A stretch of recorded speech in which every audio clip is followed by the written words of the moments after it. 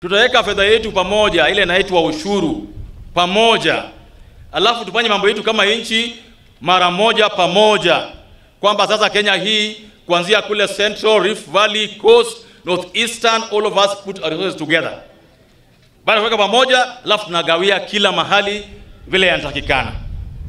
Ukisikia Gachagua anapiga kelele, sio kelele ya kitu kingine, ni kelele ya rasilimali ya nchi. Ukisikia mtu anapiga kelele kule Rift Valley, ni, ke, ni kelele ya rasilimali ya nchi. Na sasa zile unagawa rasilimali ya nchi, kama hauko mezani, unaliwa wewe, wewe ni chakula. Kama uko pale meza umekaa na wale wanaongea, wewe iko kwa menu. So I want to tell you today, watu wa Lugari, watu wa Mlembe, your best bet, your future, your guy at the table is none other than Papa Waroma. So if if you want to get the roads, you want to get health centers, you want to get pesa ya barabara, pesa ya maji, pesa ya kujenga nchi iwe sawa. I want to ask you people, the way Wakikuyu wanang'ang'ana na umoja wao, ninyi pia mng'ang'ane na umoja wenyu mki- mkiongozwa na Weta, ndio mtapata zile vitu mnataka, because mkigawanyika, mkigawanyika hapa, mtoe mianya kwamba mtu mmoja aongee na Shinali, mwingine aongee na Wangwe kivyao, mkitengamana mtaliwa. Na waombeni,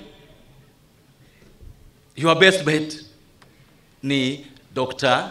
Wetangula Moses. Mshike yeye na mikono miwili ndio mtaenda mbali. Tumeona vijana wameongea, jana wameongea kwa vishindo, na ningependa sana niseme kwamba saa zingine sio lazima. There are times when you must not be right. There are times when you must allow others to win an argument. There are times when you must also give room to let others talk. And that's why mimi juzi namheshimu namheshimu sana bwana spika, namheshimu sana rais wangu, lakini Wakenya wanasema kwamba hawataki ushuru iongezwe tena, na ningependa sana viongozi kwamba saa zingine hata kama sisi tuko na ukweli, tuwaachie pia wananchi wawe pia na usemi wao, kwamba mwaka huu wanasema mwaka huu hawataki ushuru iende juu. Mwaka jana nilipiga kura mimi nikasema tuweke ushuru ya kujenga nyumba, tuweke ushuru ya kuweka health iwe sawa, tuweke ushuru NSF iende juu. Lakini mwaka huu nasema pana, mwaka huu ni mwaka inatakana tuwe na nafuu kidogo. And that's why I want to request those who are concerned that this is not the time for economic fragmentation. This is the time for economic consolidation. This is not the time for fiscal ping pong. This is the time for fiscal predictability. Tungependa sana wawekazi wakuje Kenya hii. Tuwezi tukawa tuna change tax system every year. Leo ujui ushuru ni ngapi, kesho ujui ushuru ni ngapi. I'm, I'm just advising our government. You better listen to these young people.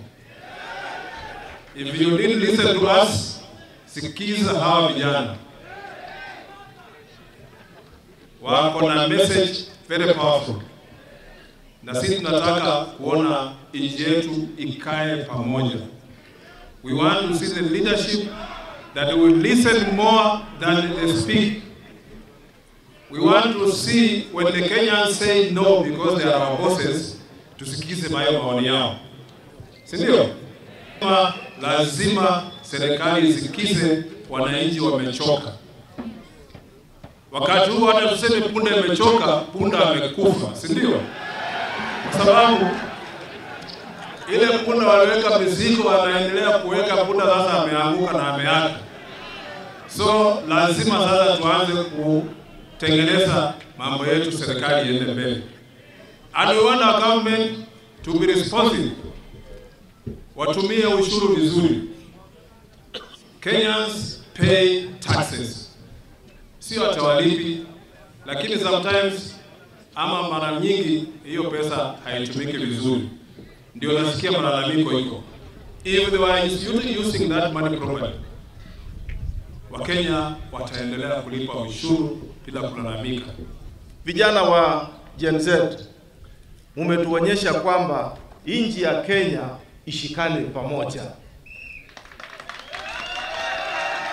Uongozi uongozi, ukipewa ofisi usichukue kama ni mali ya baba yako, chukua kama ni mali ya umma, wewe umekuwa entrusted uilinde. Kwa hivyo we must trust. Na speaker, wewe umeonyesha huo umoja na ukenya wakati umekuwa naongoza sisi katika mswada wa fedha. Heko kwako, tushikilie sisi pamoja, tusimame pamoja. leta watu wa registration of persons to all the schools. Watoto wakimaliza form 4, those who may not go to university to go to the police, you need your ID. To go to the army, you need your ID. To join any formation, you need an ID. To open a bank account, you need an ID. To get social services, you need an ID. To get NHIF, you need an ID. An ID is a lifeline for everybody. Na wale ambao akina mama hamuna vipande, patia huyo mama kipande, kwa sababu katiba inasema anybody married to a Kenyan becomes a Kenyan and there are no questions about it, kwa sababu sisi tunakaa katika mpaka na mara mingi watu wanaanza kujifanya kwa vikundi vikundi, mpaka rais amesema juzi hizo vetting groups hatunaenda katika kikundi cha watu wakuulize maswali mingi ndio wakupe kipande. Hizo vikundi rais amesema zimepigwa marufuku. Sasa mtu akitaka kipande anaenda tu anachukua kipande. I may not necessarily be the best, lakini mimi niko mbele. Ile nguvu niliyo nayo muongeze, ile upungufu niliyo nayo mrekebishe. Ili tuweze kutembea tumalize hii safari. Na hii safari ni ya nyinyi wenyewe. Kumukasa nikweze nako setawe. Tawe esomwayo kumukasa kwenywe na mimi nitailinda kwa heshima yenu. Hatuwezi kuwa na uongozi wa kubishana, kutukanana kila wakati. Vijana wanasimama hata hawajui siasa, wanaanza kutusi. Hapana. Heshima si utumwa, lazima tuheshimiane. Nyinyi vijana, hata mkichemuka namna gani, mjue home is the best.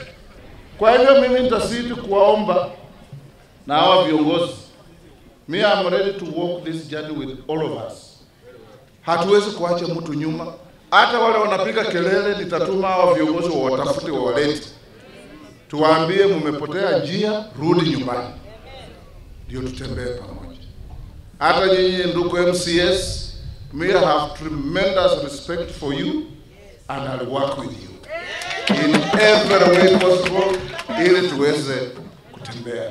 Makanisa, nyinyi wa kuweka wangu, mi namwomba tu kitu moja, maombi yenu. Omba tu Mungu, hiyo tu